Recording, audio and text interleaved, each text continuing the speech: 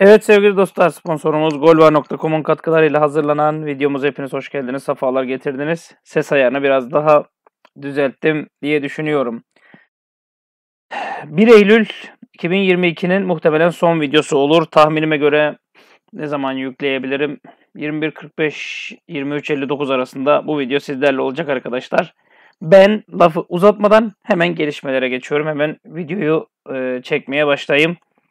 Merak etmeyin saatimde 19.48 çekiş saatinde söyleyeyim de internetin hızına göre ne zaman olursa. İşte Berke Özer'in yeni takımı diyor. Fenerbahçe ile sözleşmesi bitti. Ee, ve takım arayışında olan Berke Özer Portekiz'den Portimonense'ye transfer olmuş. 4 yıllık sözleşmeyi imza atması bekleniyor. Fenerbahçe'de 19 maçı var diyor. Fenerbahçe'de 19 maçı var diyor. Biliyorsunuz Altın Ordu'dan yüksek bir bonservis bedeliyle transfer oldu. Ali Koç döneminde sonrasında da e, kiralandı etti. Yolu açık olsun arkadaşlar. İyi bir Fenerbahçe taraftarı ama çok çok iyi bir kaleci performansı göstermedi Fenerbahçe'de. TFF'den rezervlik için açıklama gelmiş arkadaşlar. Ee, ne demiş TFF Türkiye Futbol Federasyonu Kulüpler Birliği'nin rezervlik kaldırılsın talebi üstüne açıklamada bulunmuş. Zaten birçoğunuzun çok umrunda değildir. O yüzden hızlı hızlı geçiyorum arkadaşlar. Mehmet Büyükekşi rezerv ligin iptali konusunda henüz karar vermedik. Kulüplerin bir başvurusu olduk konuyu görüşeceğiz. Ancak alınan bir karar henüz yok demiş. Öte yandan Türkiye Futbol Federasyonu haftalık planlamada rezerv ligin 5. hafta programını açıklayarak maçların devam ettiğini duyurmuş. Bakalım ne kadar sürecek. Ee, Fenerbahçe Avis ile yeni imzaladı. Biliyorsunuz Avis bizim forma göğüs sponsorumuzdu. Hala da devam ediyor. Şimdi Fenerbahçe Avis için 1 artı 1 yıllık imzaladı. Ee, bu önemli bir olay bence. Niye?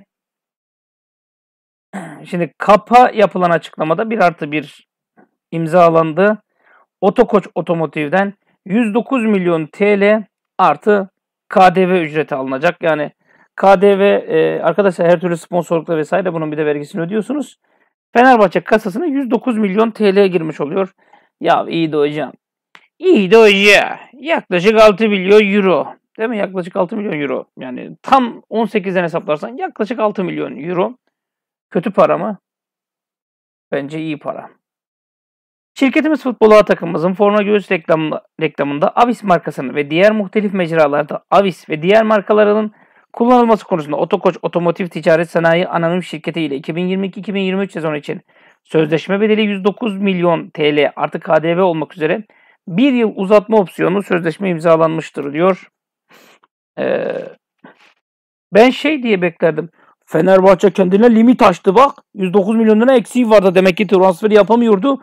Bak hülle yaptı diye birilerinin açıklamasını beklerdim. Fenerbahçe'de altyapıda dev atılım. Ee, hızlı gideyim ya 3 dakika olmuş. Biraz daha hızlanayım.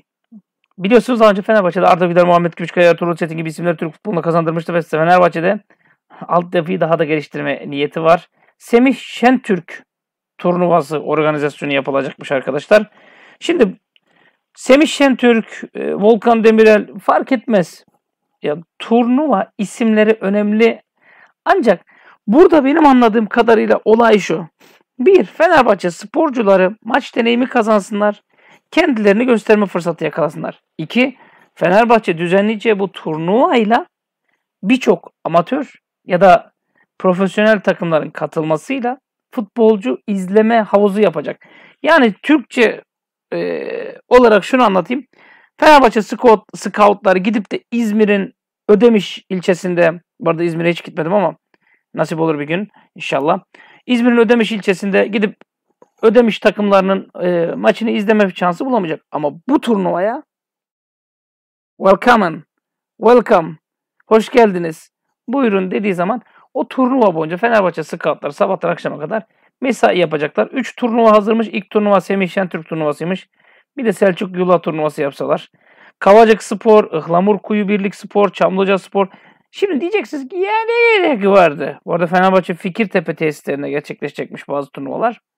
Arkadaşlar bu scout turnuvasıdır. Sizin için önemsiz, benim için önemli. Benim için önemli. Benim için önemli. Cesus'tan Salah'ya izin çıkmadı. Evet şimdi önemli kısımlara geldik. Şimdi Fenerbahçe transfer gündeminin başına Atilla Salay oluşturuyordu. Gittiği gidiyor.com falan filan. Ve bu transfere Jorge Jesus izin vermedi diyor. Bakın. Şöyle kap yapayım. Bir. Şöyle son dakika vereyim. iki. Şöyle de mi vereyim? Yok yani. Şöyle de vereyim. Üç. Lafımı dikkatlice dinlemeniz için söylüyorum. Kapı kaldırayım. Şimdilik izin vermedi. Şimdilik. Ben size bir şey söyleyeceğim. Bak bu dediğimi asla unutmamanız için söylüyorum.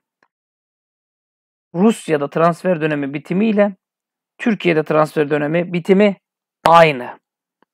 Not. Hocam UEFA'ya bildirim tarihi. Ya giden gidebilir. UEFA'ya bildirdin.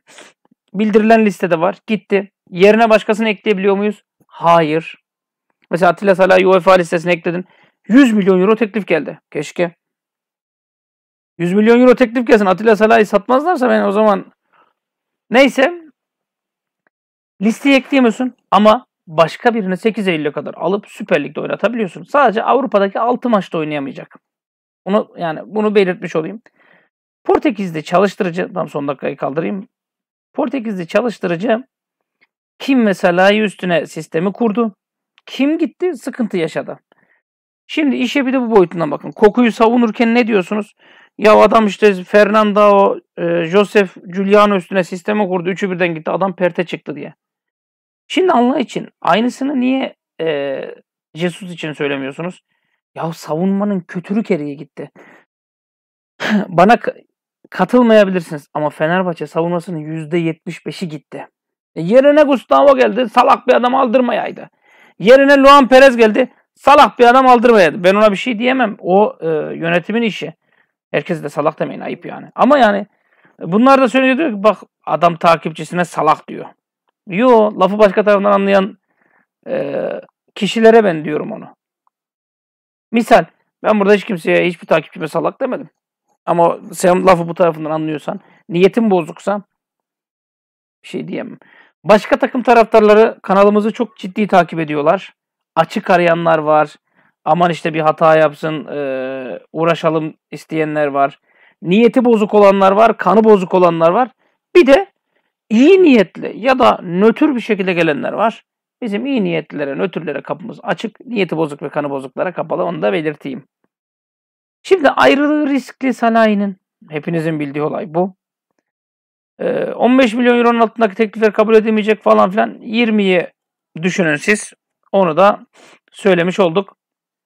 Mergin Beriş'e gitti Bundesliga'ya diyor. Onu zaten konuştuk. İkinci kere konuşmuyorum. Onu da geçtim. Fenerbahçe'de yeni yolcular belirleniyor. Yeni yolcular belirleniyor. Yeni yolcular. Şimdi kadrosunda 17 tane yabancı futbolcu olan Fenerbahçe bir de golcü alacak diyor. 17 mi? Bende hata var herhalde. Ben 16 diye biliyorum. Hatta 16'dan da düşük biliyorum. Bir golcü alacak. Kural gereği 14'e düşürmek istiyor. Bazı isimler gönderilebilir. Şimdi e, Lamine Diak Ankara gücüne satıldı diyor ama hala 17 yabancı bulunuyor.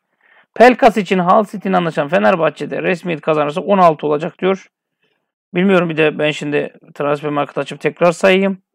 E, golcüyle yabancı sayısı artacak diyor. Bu arada mesela iletişimsizlik konusunda e, Hull City de Fenerbahçe'den beter çıktı ha. Lan açıklasanız da Pelkas'ı.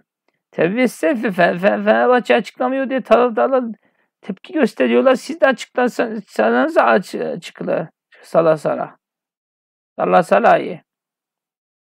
Şimdi yabancı sayısı sayalım arkadaşlar. Ben merak ettim. Atilla Selahi 1, Luan Perez 2, Gustavo Henrique 3. Yani şu an için sayıyorum. Ee, yine devam ettirelim. Lemus yazıyor ama hadi 4 diyelim. Ezgican Alioski 5, Novak 6, Osay 7, Arao 8, Crespo 9, Zayt 10, e, Lincoln 11, Pelkas 12, Rossi 13, Buruma 14, Pedro 15, Joshua King 16, Valencia 17. E ben niye 12 saydım lan? Neyse ben 12 saydım herhalde. E, matematiğimde biraz zayıflama var. E, golcüyle yabancı sayısı artacak. Yenilerden giden olabilir diyor. Mesela Pelkas gidecek zaten o kesin. E, Novak sıradaki isim. Novak'ın da maaş yükünden dolayı kimse istemiyor ama biraz kafalar karışık. Atilla Salahi'ye vize verilmedi. Lemos sık sık forma alan Rossi gözden çıkarılabilir diyor. Ee, yani seçim yapılacak. Buruma en zayıf halka diyor. Yeni transferlerden Buruma en zayıf halka. Peki hocam yüzde verir misin? Yani yüzlük yüzlük transfer günlerinin sonuna geldik. Bize yüzde ver. Vereyim. Lemos kim? Lemos kim yani? Ben tanımıyorum Lemos'u. Hocam Buruma içinde kim desene. Buruma'yı göndermeye çalıştık da beceremedik. Bak ben öyle başkaları gibi verdiğim duyumu inkar etmem. Mesela birkaç duyumcuda şey gördüm. Maxi Gomez için sadece bir kere fiyat sormuşlar diyor. Yalancı Ya yemeyin. Birbirimizi yemeyelim. Kimseyi kandırmanın lüzumu yok. Ya internet çağındayız. Bak 26 bin küsür takipçi var. İnşallah Kayseri Spor maçına kadar 26 bin 100 olur takipçi sayısı. İnşallah 26 bin 100 olur. Ya 26 bin 100 tane e, zihin seni takip ediyor ya. Arkadaşlar ben gerçekten vicdanen bu transfer döneminde aşırı rahatım. Allah'a çok şükür rahatım. Gelen neyse aktardım. Yanıldım mı? Yanıldığım duyum oldu. Bilemediğim duyum oldu mu? Bir sürü oldu. Ama çok şükür geleni aktardım. Hiç tutmadım. Yani dediğim gibi arkadaşlar ben hangi süreçten bahsettiysem onun arkasındayım. Bilginiz olsun. Ben dediğim gibi arkadaşlar yani e, Gustavo şey Maxi Gomez hakkında ne dediysem arkasındayım. Bana gelen duyumlar neyse aktardım. Çok şükür vicdanen de rahatım. Her türlü de rahatım. 6 milyon euro olayını söyleyen ilk benim. E, görüşmeyi söyleyen benim. 12 milyon eurodan düştüklerini söyleyen benim vesaire vesaire. Ha başka takıma mı gitti? Fenerbahçe için hayırlı uğurlu olsun.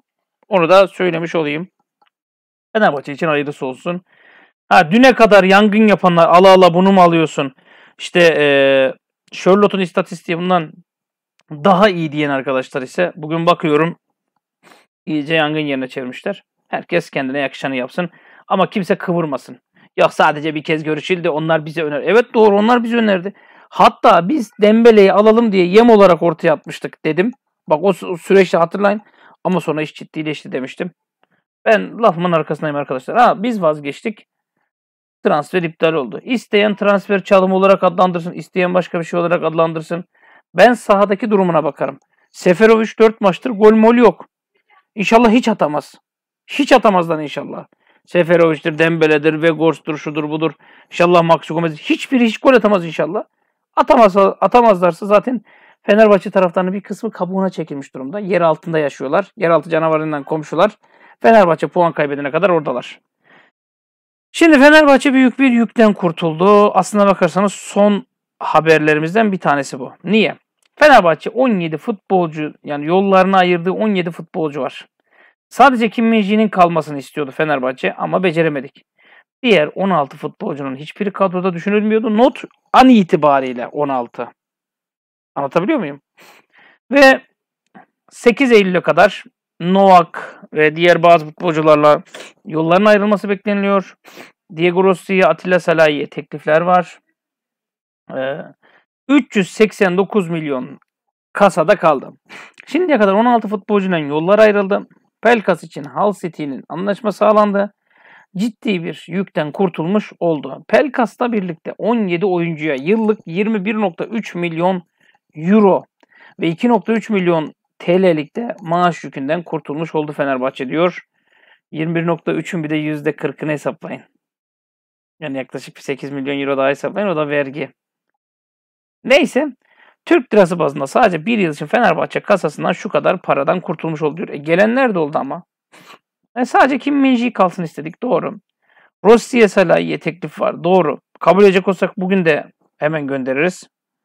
Yani Rossi de Salah'da de bu sezon onar maçta forma giydi. Gustavo 3,5 milyon euro alıyordu demiş haberde. Yani en ciddisi Gustavo'ydu. Hani e, Mesut Özil 5 milyon euro alıyordu. Ali Koç ikisini cebinden karşılıyordu. Niye? Ya gidince niye dönüyorsunuz? 5 o alsa 3,5 o alsa 8,5. E Sosa 2,5 diyordunuz. Hadi 2,5 da o alsa 9 11 milyon euro 3 tane futbolcun. Samat da 3.2. 3.2'de bu olsun hadi 14.2 yaptı. Ne oldu? Hesaplanırken 21 Fenerbahçe'de kalmayı sürdürürlerse 40 milyon euro alıyorlar oluyor. Ve son olarak dünya devi Arda Güler için gözünü kararttı. Şimdi Fenerbahçe'nin genç yıldızı Arda Güler dünya devlerini peşinden sürüklüyor. Son olarak, olarak Arsenal'de teknik direktör Mikel Arteta'nın Arda Güler'i istediği ve ada ekibinin 25 milyon sterlinlik bir teklifle Sarı lacivertlerin kapısını çaldığı iddia edildi. Not, e, haber doğru değildir. Niye? Bizim duyumcu kardeşler ne dedi? Ne dedi bizim duyumcu kardeşler? Dediler ki işte Atilla Salay bu sene giderse 5 milyon euroya gider. Öyle 20-30'a gidemez. 25 milyon sterlin yani yaklaşık 30 milyon eurodur. Değil mi? Mantık olarak gidemez. Ee, Pacoeta, Lucas Pacoeta, Gakpo, Cornet, Edon Zegroa'nın yanı sıra Arda Güler de yer alıyormuş. Haberde adı 2017 yaşındaki oyuncu için 25 milyon sterlin ödemeyi gözden çıkardığı öne sürüldü. Eğer transfer gerçekleşirse Arda Güler Sarı en pahalı transferi olarak ne Sarı lacivertlerin Süper Lig tarihinin en pahalı transferi olarak tarihe geçer. 2007-2008 sezonundan bu yana 5 Süper Lig golüne en genç yaşta ulaşan 17 yaş 171 günde oyuncu olmuş. Arda Güler'in Fenerbahçe istatistiği bu sezon 5 maçta 5 maçın birinde 11'de yer aldı. Toplam 145 dakika süre aldı. 17 yaşındaki genç yıldız aldığı bu kısa sürede 2 gollük performans ortaya koydu diyor haberde. Hakkımızda hayırlısı olsun arkadaşlar. Ee, yani ne diyelim. Serdar Azmun'la ilgili bir bilgi vardı da. Ya Serdar Azmun'un Fenerbahçe'nin peşine düştüğü, Zenit'te kendini kabul ettiren İranlı golcünün Alman ekibine 25 milyon euroya transfer olmuştu diyor. Yani ben e, bir daha yazayım Serdar Azmun için. E, bende mi hata var diye bir daha bakayım. Leverkusen'de istenen yapamadı 16 maçta sadece bir gol attı diyor. Arkadaşlar transfer marketta 2,5 milyon euro yazıyor. Zenit'ten Leverkusen'in alışı 2,5 milyon euro yazıyor. Yani 25 yazmıyor. Bir de siz bakın. Ha 25 yazıyorsa bir şey diyemem. Ama 2,5 yazıyor. Hocam tam manasıyla forvet bu çocuk diyorlar. Yardımcı forvet rolünde diyenler de var. Ben bilemiyorum. Ee, çeşitli söylentiler var. Yani ne diyeyim arkadaşlar? bekleyip göreceğiz. Ama gidenler konusunda başlıkta söylediğim üzere belirteyim. Hani gidecekler de son dakika geçmesi. Salahi şimdilik kalıyor. Arda Güler hiçbir yere gitmiyor. Buruma için bir şey diyemem. Ama bugün idmana katılmayan, herhangi bir mazereti olmamasına rağmen bugün idmana katılmayan isimlere dikkat edin. Çok kez söyledim bir kez daha söylemiş olayım. Benden uyarması. Kendinize iyi bakın Allah'a emanet olun. Görüşmek üzere.